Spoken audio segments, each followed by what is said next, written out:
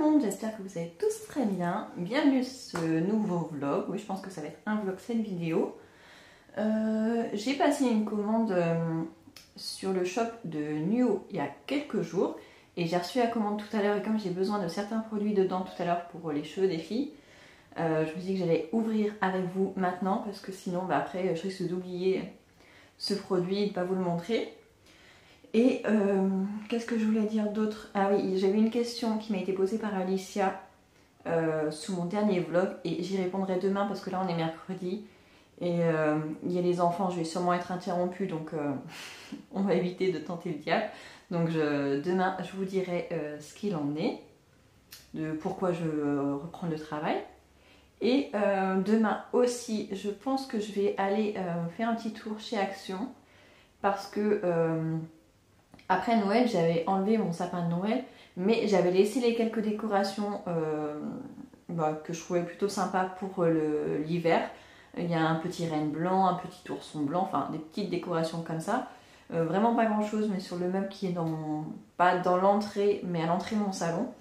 Et voilà, je me suis dit que pour le printemps, j'allais ranger cela et peut-être mettre des décorations un petit peu plus printanières je sais qu'il y avait des décorations de Pâques dès le mois de janvier, donc je ne sais pas s'il reste encore des choses maintenant. Après, je n'ai pas forcément envie de choses euh, vraiment qui fassent Pâques, mais qui fassent plutôt printemps, donc je pense que j'irai faire un petit tour demain et bah, je vous montrerai ce que j'achèterai, je mettrai en place. Mais tout d'abord, on va ouvrir le colis. Donc c'est à peu près, c'est une plus grosse boîte que pour les New Box. Donc j'ai commandé sur euh, le, shop de Nuyo et quand on est abonné à la box, on a 10% de remise sur, euh, sur l'ensemble du shop. Donc ça je trouve ça plutôt bien. Et euh, d'ailleurs je vous mettrai mon lien de parrainage en bas. donc je vous disais, je vous mettrai le lien de parrainage en bas et si je ne me trompe pas, vous avez droit à, si vous utilisez mon lien de parrainage, vous avez 3 euros de réduction sur votre commande. Donc que ce soit une box ou, ou sur le shop. Voilà, voilà. Donc, je ne l'ai pas encore euh, déballé, je l'ai reçu tout à l'heure. On est allé à la, bibliothèque et là je me dis que j'avais un petit peu de temps. Les enfants ont les livres dans les mains donc ils sont calmes. Donc j'en profite. Donc du coup je vois que en rembourrage j'ai l'impression que c'est de la laine. Ouais, c'est de la laine qu'ils ont mis pour combler. Plutôt sympa. Au moins c'est léger. Alors, donc, je vois qu'ils m'ont mis des petits échantillons. En échantillon la laine qui les poussières. Euh, en échantillon, j'ai, euh, je pense que c'est un sérum ou une crème à la vitamine C de la marque Madara. Bon, les échantillons, franchement, euh, je me dis que ça n'a aucun intérêt parce que en général, il y a une dose ou deux, donc on ne peut pas se faire vraiment une idée sur le produit. J'ai aussi un échantillon encore de la marque Madara et là, c'est un masque pour cheveux. Voilà. Et le troisième, c'est de la marque Olution Glow Up. C'est un soin visage hydratant. là, c'est vraiment euh, toute petite dose. Je ne sais même pas combien il y a de millilitres. Je sais pas, vraiment tout petit, petit, petit, petit. Mais voilà, je les, testerai de toute manière ou je les mettrai dans la colis. Je verrai. Alors, donc, qu'est-ce que j'ai acheté? Bon, j'ai déjà été interrompue deux fois, je sais pas ce que ça va donner cette vidéo. Donc je disais, j'ai acheté des poudres euh, ayurvédiques pour euh, les cheveux. Donc à la fois pour moi mais aussi pour mes filles. Et là c'est la poudre de Shikakai. Alors ça, euh, la poudre de Shikakai, vous pouvez l'utiliser comme un shampoing tout seul. Juste la poudre, ça vous remplace votre shampoing. Et elle a beaucoup de vertus pour les cheveux. Notamment, elle permet d'éviter qu'ils tombent trop et en même temps elle les épaissit. Donc moi c'est ce que je cherche, euh, même si ça s'est quand même vachement amélioré, je perds beaucoup moins mes cheveux, ils ont quand même pas mal repoussé, mais bon c'est toujours pas euh, comme avant. Donc je me dis que j'allais tester ça, la poudre de Shikakai. Donc là il met dessus nettoie et dégraisse le cuir chevelu, donc j'ai pas besoin qu'il me le dégraisse, hein. juste... Euh, soit l'utiliser en shampoing puisque je n'utilise plus shampoing solide. J'ai utilisé pendant au moins 2-3 ans shampoing solide et euh, au bout d'un moment je me suis demandé si c'était pas ça qui faisait que je perdais mes cheveux parce que j'avais beaucoup de mal à le rincer. euh, même si j'avais l'impression de bien le rincer, mais après avec ma brosse, j'avais souvent une petite pellicule blanche qui restait sur ma brosse. Donc j'ai arrêté les shampoings solides pour l'instant. Là, euh, j'utilise des shampoings de Sobioéthique, je crois, ou de Coslis. Oui, le mien c'est un Coslis là actuellement que j'avais eu d'ailleurs dans une New Box. Et bah, c'est vachement, vachement mieux. Mais je me dis pourquoi pas peut-être passer à un shampoing en poudre pourquoi pas. Voilà, euh, c'est une de mes hypothèses, toujours dans le but de réduire les déchets et d'aller vers des choses euh, saines et naturelles. Donc là, c'est un petit contenant de 100 grammes. je ne sais pas combien de temps ça va me durer, mais euh, de toute façon, je vous en reparlerai. Je vous, dirai comment, si j'ai réussi à bien l'utiliser et ce que ça a donné. Ensuite, j'ai racheté la poudre de henné parce que bah, je l'ai utilisée en, en entier et je n'en avais plus. Et là par contre j'ai pas pris un colorant, j'ai mis j'ai pris un incolore comme ça je pourrais l'utiliser aussi sur les filles et sur moi. Donc là pourquoi le henné bah, Parce que ça, ça épaissit le cheveu, ça le gaine donc ça permet d'avoir un petit peu plus de volume. Donc voilà pourquoi je l'ai pris. Ensuite j'ai pris de la lotion démêlante, donc sans rinçage, de la marque Sentifolia donc en fait, je cherchais un vinaigre de rinçage à la framboise. À la framboise. Et euh, je n'ai trouvé que ça. Donc je pense que ce que je ferai quand j'irai faire mes courses, c'est que j'achèterai euh, au rayon alimentaire un vinaigre de framboise. Je sais que ça coûte cher. Mais euh, voilà, j'ai envie d'en avoir. Parce que j'en ai eu un échantillon, enfin un petit format avec le calendrier de la vente d'Yves Rocher et il est très très bien. De toute façon, les vinaigres sont très réputés pour, euh, à utiliser en eau de rinçage bah, pour refermer les écailles des cheveux, pour qu'ils soient plus brillants et tout ça. Et euh, c'est vrai que l'odeur du vinaigre, c'est pas top, mais le vinaigre de framboise, bah, ça sent bon la framboise, donc euh, c'est vachement plus simple. Donc là, je vais utiliser cette lotion-là sur les cheveux des filles et aussi sur les miens, pourquoi pas. À la fin de, la douche, vu que là, je vais commencer à leur laver les cheveux moi-même parce que quand elles le font toutes seules, elles veulent prendre leur douche tout seules, elles le font depuis très longtemps. Mais c'est vrai que pour les cheveux, elles ont les cheveux longs et euh, franchement, c'est la galère pas possible. Là, elles ont les cheveux emmêlés, je vous raconte même pas. Euh, donc c'est moi qui vais m'en charger. et donc euh, du coup, bah, je finirai le, à la fin du, rinçage, je mettrai un petit peu de lotion démêlante. Je pense que ça aidera un petit peu. Et après, c'est vrai qu'on a les cheveux qui sont vachement plus brillants. Donc, donc voilà, donc j'ai pris ça. Euh, je l'ai pris chez Nuo parce que bah, il était moins cher que ce que je pouvais trouver chez Amazon. Donc euh, voilà pourquoi. Et je suis pas sûre de le trouver en, supermarché, en tout cas vers chez moi. Donc c'est pour tout type de cheveux et, euh, et c'est bio. Donc voilà. Ensuite, j'ai l'impression que je parle beaucoup encore. Hein. J'ai acheté de la marque Endro un contour des yeux.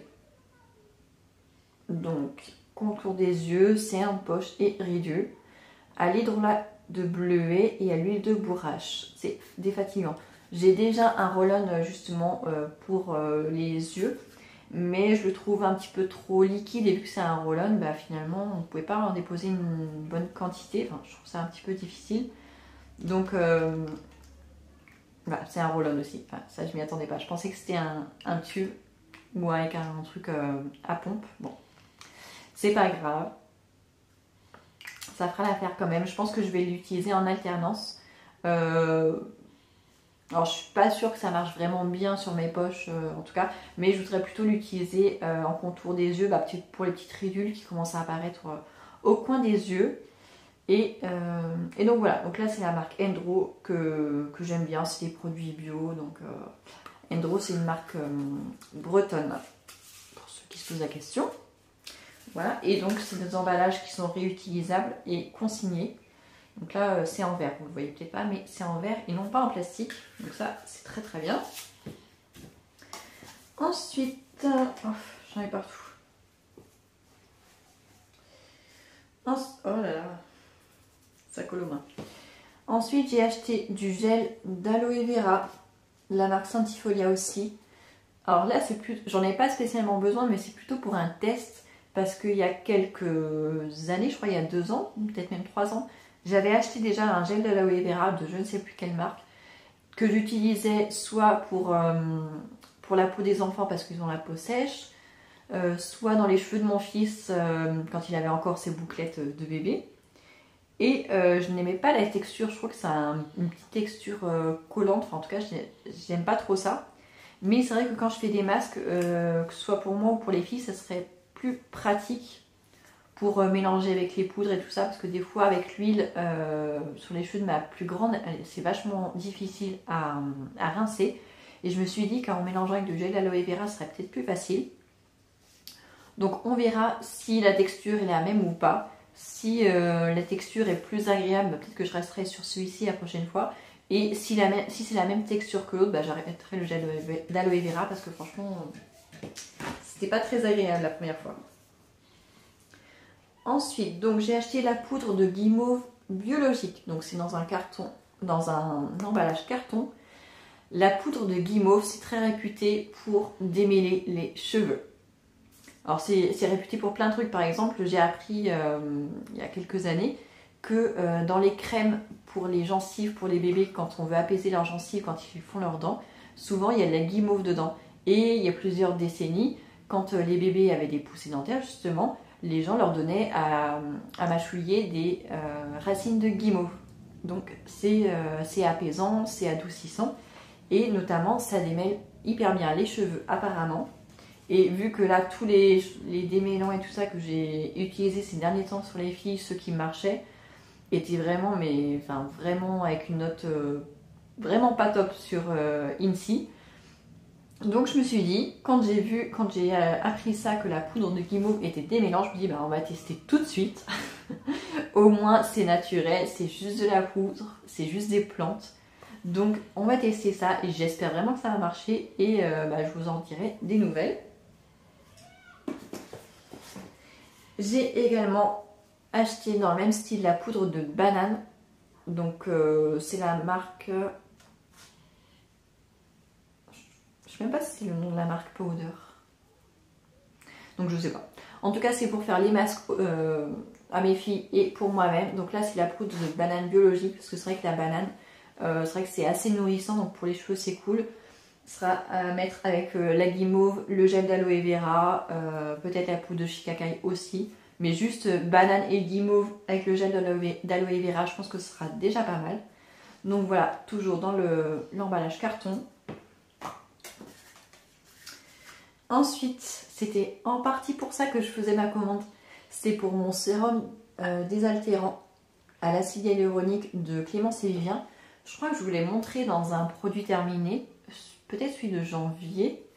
Et franchement, celui-ci, je l'ai adoré. J'avais jamais utilisé de sérum avant, mais franchement, celui-ci, mais j'adorais. C'est un flacon de pompe. C'est en texture euh, gel, hyper agréable, ça pénètre super bien. Et euh, le flacon comme ça, je crois qu'il m'a duré 6 mois, alors qu'il fait que 50 ml, donc très économique. Et euh, bah, quand j'ai fini celui-ci, j'en ai utilisé un autre, dont je vous parlerai aussi, que j'ai beaucoup moins aimé. Et euh, du coup, bah, j'ai voulu me racheter celui-ci. Sur Amazon, celui-ci était à 15 euros. Je me dis, c'est pas possible, j'ai pas pu acheter ça 15 euros la première fois. Et là, sur le shop de Nuo, il était à 9 quelque chose. Donc je me dis, bah, top. donc c'est pour ça que j'ai passé toute ma commande sur Nuo au lieu d'aller chercher des petits trucs par-ci par-là, Aromazone, Amazon. Lui, bah, autant tout acheter ici. Tout ce que je voulais était sur le shop de Nuo. Donc ça, c'était vraiment top. Donc je me suis repris mon petit sérum que je vais pouvoir utiliser dès demain matin parce que ça me manquait vraiment, vraiment. Et enfin, le dernier produit aussi pour lequel je voulais euh, commander sur Nuo, c'est pour euh, la boisson. Donc c'est une poudre de cacao et maca. Je l'avais testé euh, je pense que je vous avais montré ça euh, peut-être dans un produit terminé. Je pense il y a quelques mois. J'avais eu un stick de maca et, cacao dans une Nuo Box. Et j'avais adoré avec euh, du lait de noisette. Donc une boisson végétale à noisette. C'était mais trop trop trop bon. Bon, j'aurais peut-être dû l'acheter avant l'hiver, ça aurait été l'occasion d'en profiter vraiment. Là, on arrive au printemps, c'est peut-être moins la saison. Mais euh, comme je ne suis pas sûre de refaire une commande euh, tout de suite, je me suis dit que j'allais l'acheter tant qu'il était disponible. Et donc c'est, euh, ça fait combien de... Quelle quantité? Il y en a pour 20 tasses. Vous voyez, c'est quand même petite boîte. Il y en a pour 20 tasses.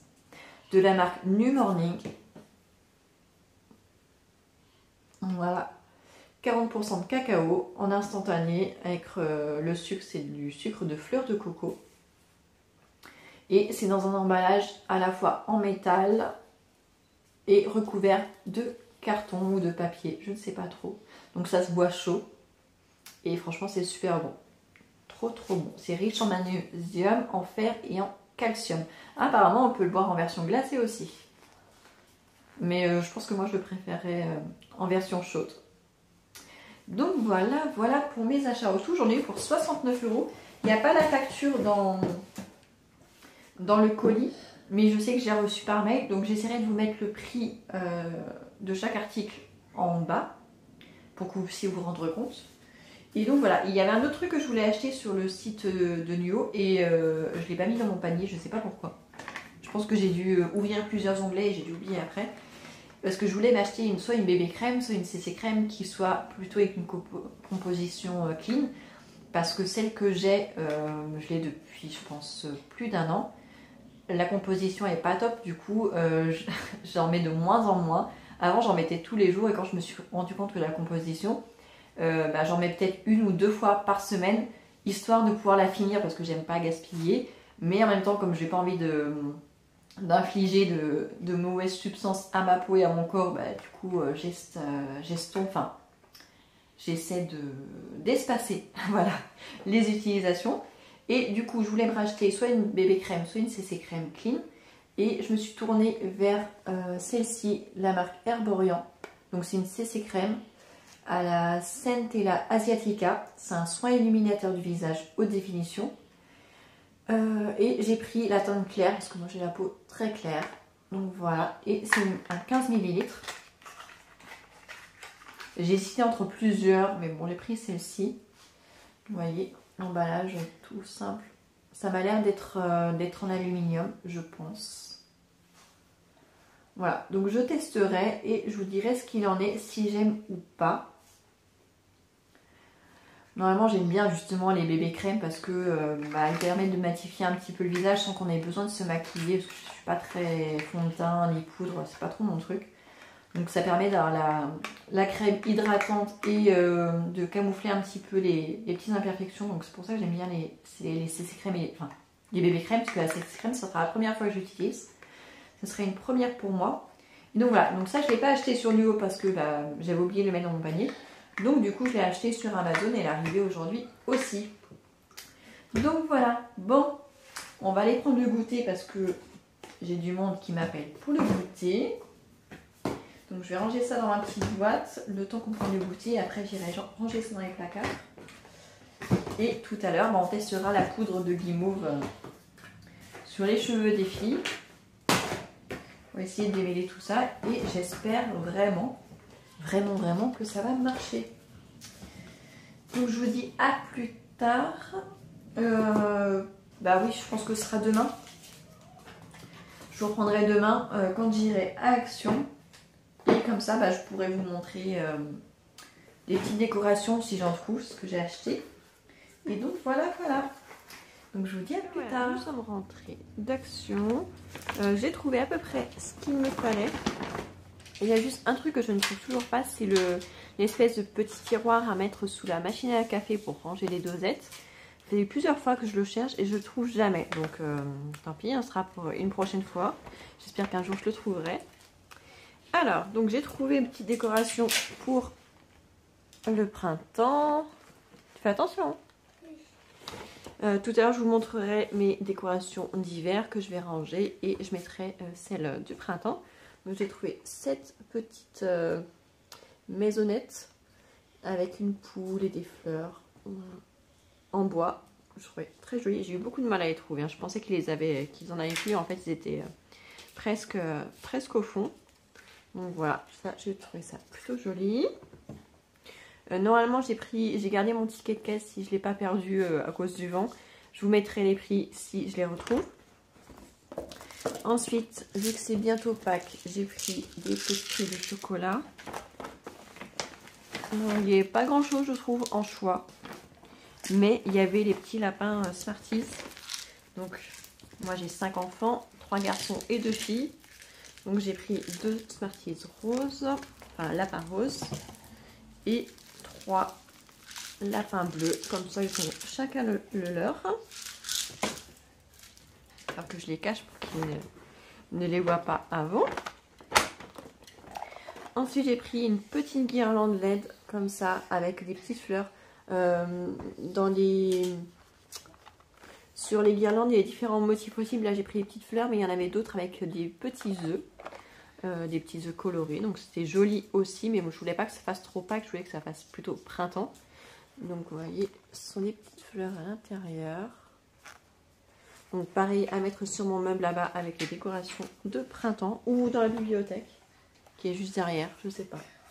Il y avait un autre, euh, il y avait une petite décoration, une espèce de boule avec des petites, euh, des petites décorations à l'intérieur et une LED. Mais j'ai hésité à la prendre et je me suis dit maintenant euh, que le, le temps est vachement plus lumineux, euh, je pense que ça se verra pas si je la mets dans ma bibliothèque à, la place de... Vous la voyez pas. Là j'ai encore celle-ci dans la bibliothèque. C'est une lampe LED que j'allumais le soir euh, pendant l'hiver, mais là je l'allume plus parce qu'on le voit plus. La pile elle est naze. Donc je voulais remplacer ça, puis je me suis dit que c'était pas nécessaire. Parce que je pense qu'on l'allumera jamais, donc donc je l'ai reposé. Je leur ai pris des petits autocollants comme ça euh, en mousse. Donc là ce sont des petits poussins, des petits lapins, des choses comme ça. Donc sur le thème de Pâques, euh, parce qu'en ce moment ils sont à fond, enfin en tout cas hier ils étaient à fond dans les gommettes. Et c'est vrai que celles qu'il faut décoller, c'est pas forcément évident pour les deux petits. Et là, vu que ce sont celles en mousse, elles sont plus épaisses, donc c'est plus facile. Donc voilà, ce sera pour eux pour qu'ils s'amusent. Ensuite, je préfère les vraies plantes plutôt que les plantes artificielles. Mais euh, là où est mon meuble, euh, ça manque de lumière en fait. L'hiver, bah, parce qu'il euh, fait assez gris. Et à partir du printemps, là ça va, on est au mois de mars. Mais à partir de fin avril, début mai, il va falloir qu'on ferme tous les volets, sinon il fait beaucoup trop chaud. Et donc on va se retrouver dans le noir. Donc je ne peux pas mettre de plantes fleuries en tout cas. Des plantes vertes, c'est déjà euh, pas top, mais les plantes fleuries, je pourrais pas en mettre. Donc je me suis pris deux petites euh, plantes artificielles comme ça, une rose et une rouge. Il y avait pas mal de choix, mais euh, la plupart de ce que j'ai vu était trop cher et trop fragile. Donc j'ai opté pour ces deux petits trucs là. J'ai trouvé ça plutôt mignon et je pense que ce sera plutôt facile à, à dépoussiérer. Donc voilà, puis en plus avec le pot blanc, ça permet d'éclaircir un petit peu. Ensuite, Toujours en petite décoration, j'ai pris un petit mouton avec un poussin. J'adore les moutons. Et des petits lapins. Je trouve ça fait très printanier avec le petit euh, papillon, euh, la fleur, voilà. Voilà, voilà. Ensuite, euh, c'est tout pour la décoration. Pour l'extérieur, j'ai pris un Nutella Insects il y en avait deux sortes, il y en avait un comme ça et un plus grand. Mais euh, vu qu'on a un petit jardin, je dis qu'on allait prendre un petit. Donc là, il est en forme de maisonnette comme ça. Euh, j'espère que le bois n'est pas traité parce que si le bois est traité, bah, ça n'a plus vraiment d'intérêt. Donc on verra bien ce que ça donne, si des insectes viennent se, nicher dedans ou pas. Je vous dirai si, ça fonctionne. On aurait pu en faire un vrai, mais euh, dans les barrages, on n'a pas, on pas vraiment de forêt. Enfin, en tout cas, on ne peut pas y accéder. Donc, euh, on ne peut pas aller chercher des choses dans la nature. Ensuite, j'ai repris les lingettes E10, même si elles ont augmenté. Là, elles sont à 95 centimes le paquet. Alors que quand j'ai été allée la première fois, euh, c'était à 88 centimes. Donc, ça n'a pas énormément augmenté, mais ça a augmenté quand même. Donc, j'en ai pris deux paquets. J'ai repris des c'est bien. T'as déjà tout mis Oui. J'ai repris du sel d'Epsom euh, senteur lavande pour euh, les relaxer dans le bain euh, quand ils sont un peu trop énervés. Voilà. Ça, c'est franchement, c'est vraiment pas cher. Ensuite, je leur ai pris d'autres petits autocollants. Parce que hier, on a eu des pleurs parce qu'il n'y avait plus d'autocollants, pas de patrouille. Le plus petit avait tout pris, l'autre était triste.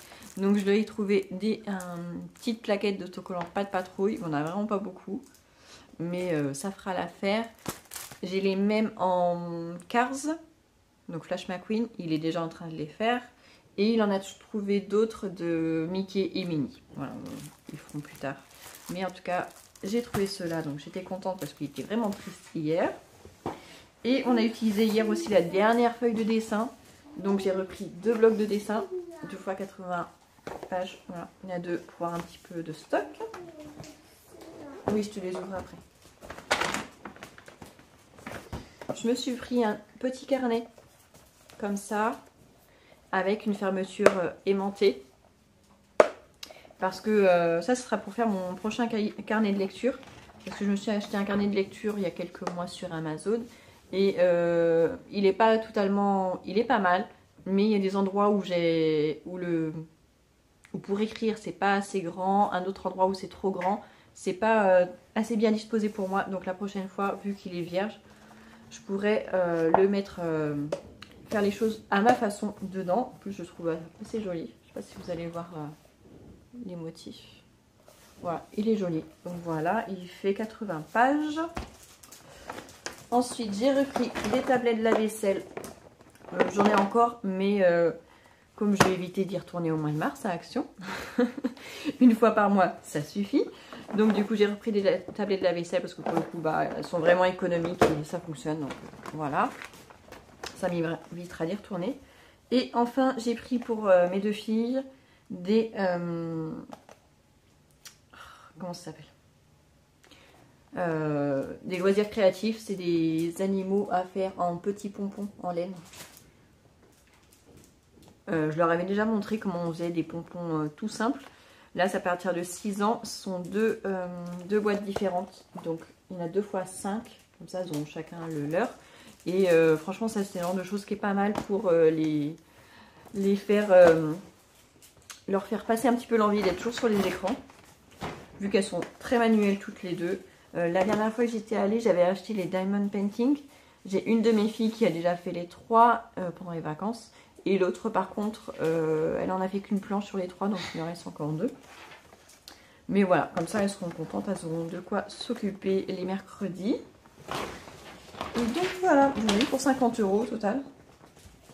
Donc ça va, j'ai été raisonnable. J'aurais pu prendre moins de décoration, mais euh, bon, j'y allais surtout pour ça, euh, donc voilà. Et ce sont des choses qui vont être réutilisées d'une année sur l'autre, et donc ça, c'est chouette. Voilà, voilà. Bon, et les autocollants, euh, ça va partir en 2-3 mouvements, mais pour leur faire plaisir, ils ne coûté rien du tout. Voilà, voilà. Euh, je vais ranger tout ça. Je vais mettre les choses en place. Je, pense que je vais essayer de filmer en même temps. Et euh, je reviendrai cet après-midi euh, discuter un petit peu avec vous. Early, gonna rise with the sun. Step two, get some good, some food in you. Step three, think grow hard about what you want to be. Step four, everybody just do your thing. Wake up, today's gonna be a good day. Wake up. Today's gonna be a good day Wake up Today's gonna be a good day Wake up Today's gonna be a good day Wake up Today's gonna be a good day Wake up Today's gonna be a good day Wake up Today's gonna be a good day. Wake up. Today's gonna be a good day. Set your affirmations, aspirations. I got shit to do, the aftermath of preparation. Good food, good mood, blood in circulation. One step at a time, yeah that's how you make it. Set a goal you control and the steps you take them I try to pick one thought, have some concentration. And if I make a mistake, it's called education. I try to do this every day, call it replication. Wake up, today's gonna be a good day. Wake up, today's gonna be a good day. Wake up Today's gonna be a good day. Wake up. Today's gonna be a good day. Wake up. Today's gonna be a good day. Wake up. Today's gonna be a good day. Wake up. Today's gonna be a good day. Wake up Today's gonna be a good day So life ain't easy, yo I think there's a reason, though Ups and downs, just like every different season, yo Sometimes I'm high, other times I'm barely breathing, though I always gotta fight and hide from the demons, yo Negative thoughts are poison, they rot, uh. Head full of flies, so here come the clouds, uh. They'll never stop unless I can swap All the bad for the good in my head when I'm lost, uh. Yeah, so I'ma fake it till I make it.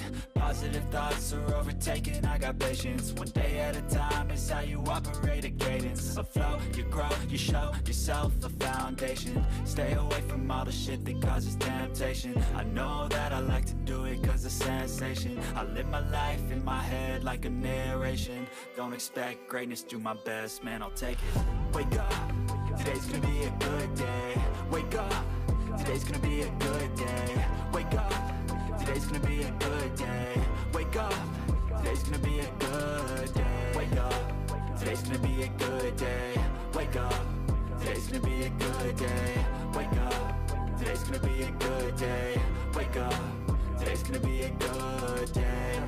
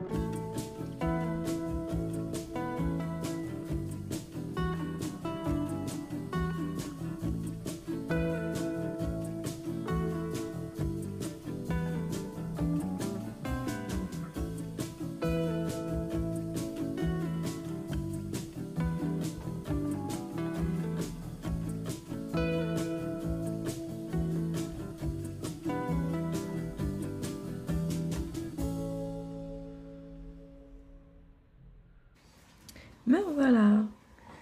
Bon, j'étais censée euh, lire un petit peu, mais j'arrête pas de, m'endormir, donc j'ai arrêté. Et je me suis dit, du coup, j'allais reprendre la vidéo pour vous.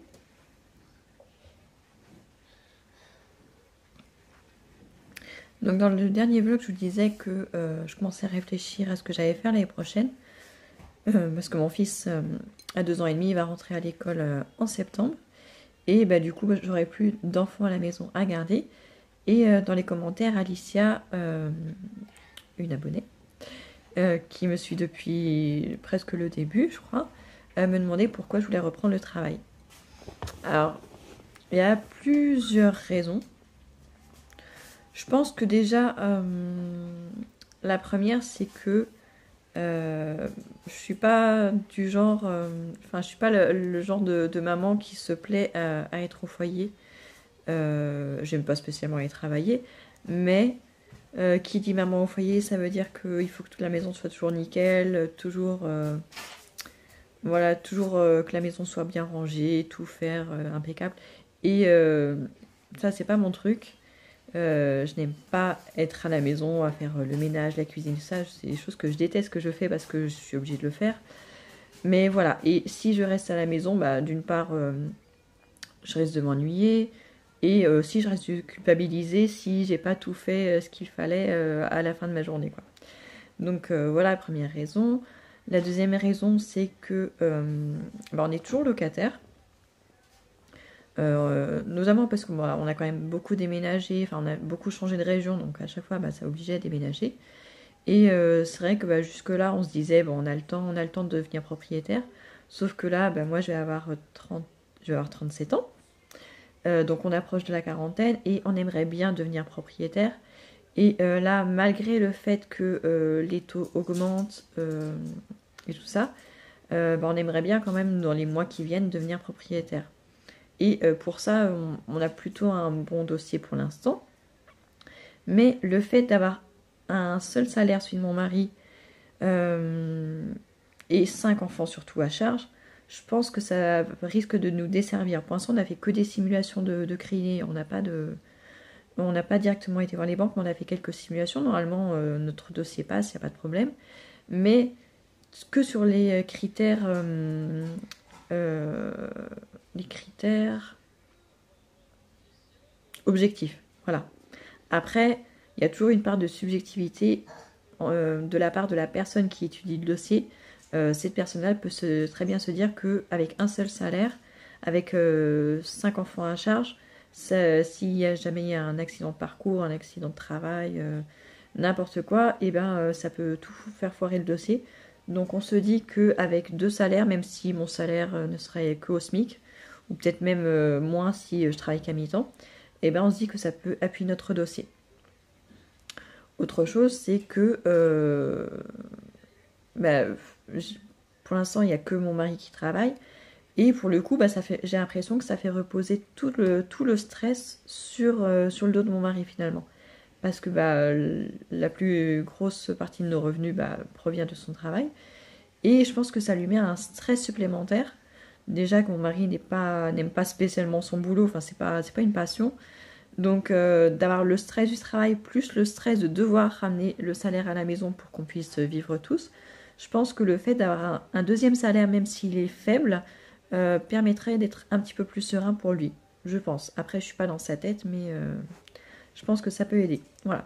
Donc voilà pourquoi j'aimerais euh, reprendre le travail, même si honnêtement, je préférerais. C'est d'ailleurs pour ça que j'avais créé ma chaîne YouTube. Je m'étais dit, je me donne un an et demi pendant lequel bah, ça me laisse le temps de lancer la chaîne et peut-être qu'à ce moment-là, je pourrais euh, en tirer euh, un petit bénéfice. Alors, je ne m'attends pas à, des, euh, à des centaines d'euros, mais là, en plus, mon dernier fils va avoir 3 ans au mois de juin, donc mes allocations vont diminuer. Je crois que je vais, faire, je vais perdre 180 euros, donc c'est pas énorme, mais c'est quand même une assez grosse somme. Donc voilà, donc c'est pour ça que j'avais créé cette chaîne en espérant pouvoir en, vivre un minima. Et euh, bah, en fait, euh, non, j'ai toujours que 630 abonnés, donc je suis encore très très loin du compte. Et je sais que d'ici septembre, euh, ça n'aura pas changé. Donc voilà, je continue ma chaîne non pas dans l'espoir de la monétiser, mais juste parce que ça me fait plaisir de le faire. Ça m'occupe, ça me permet d'échanger avec vous. donc voilà, ne serait-ce que d'avoir rencontré, j'ai pas rencontré en vrai Alicia, mais c'est vrai qu'elle me met souvent des commentaires et euh, bah, je la considère déjà comme, euh, comme une amie, donc, euh, donc je trouve ça chouette. Voilà, donc je continuerai mes vidéos même si, même si je reprends le travail, je pense que ne serait-ce que de temps en temps. Donc voilà, voilà ma petite explication. Bon, j'ai déjà fait ma petite déco, normalement je vous aurais mis la, la petite vidéo. Donc là, je vais aller faire mon ménage parce que je ne l'ai pas fait entièrement ce matin. J'ai enlevé tous les draps de tous les lits ce matin. Là, euh, c'est en train de sécher, donc euh, je pense que d'ici une demi-heure, une heure, vu le temps qu'il fait, on a un grand soleil, mais on a un vent pas possible. Donc je vais pouvoir raccrocher, euh, enfin décrocher mon linge et refaire tous les lits, je pense. Et voilà. Et après, j'aurai encore le goûter à faire. Je sais pas ce que je vais leur cuisiner. Cette semaine, on a déjà fait des crêpes. J'ai déjà fait un gâteau au chocolat. Euh, lundi, qu'est-ce qu'on a fait lundi? C'était du pain. Donc là, je sais pas ce que je vais faire aujourd'hui. Ce qui est sûr, c'est que je suis obligée de faire quelque chose parce qu'on n'a rien de, tout fait. Et donc voilà, voilà. Et ah oui, j'ai un colis vintage à emballer. J'en suis au troisième cette semaine. Là, je suis en train de faire beaucoup de tri parce qu'on a plein, plein de choses qui nous encombrent là. J'ai les, tous les vêtements de mon dernier fils qu'il faut que, que je prenne en photo, je mette sur Vinted et tout ça. Euh, ma deuxième fille, c'est pareil, ce matin, elle a essayé de mettre un t-shirt, euh, la tête passait pas, donc euh, là, je pense que le 8 ans, il va falloir qu'on le range et qu'on passe aux 10 ans. Donc, il faut que j'aille chercher dans le placard qui est à l'étage le carton de t-shirt de 10 ans. Et donc voilà, ça, ça va faire du boulot là. Le printemps, à mon avis, on va trier les vêtements. À mon avis, il y en aura pas mal qui sera trop petit. Il faudra que je mette les annonces en espérant que ça parte vite. Bon, après, comme je fais à chaque fois, si je vois que ça part pas en un par un, je réunis tout dans un gros lot et en général, ça part. J'ai remarqué que souvent, quand je faisais des gros lots, que ça partait super vite, ce sont souvent des personnes qui ont des boutiques de, de seconde main. Souvent, c'est à Paris ou un autre vers euh, Montpellier. J'ai l'impression que c'est toujours les mêmes. Euh, dès que je mets un gros lot, euh, ils se ruent dessus, ils achètent et je pense qu'après ils revendent à l'unité, je pense. Mais bon, c'est pas grave, même s'ils se font de l'argent sur mon dos, ça me permet moi de me débarrasser et de gagner un petit peu de place. Voilà, voilà. En tout cas, j'espère que ce petit vlog vous aura plu. N'hésitez pas à me dire en commentaire, à mettre un petit j'aime, à vous abonner si c'est toujours pas fait. Et je vous dis à très bientôt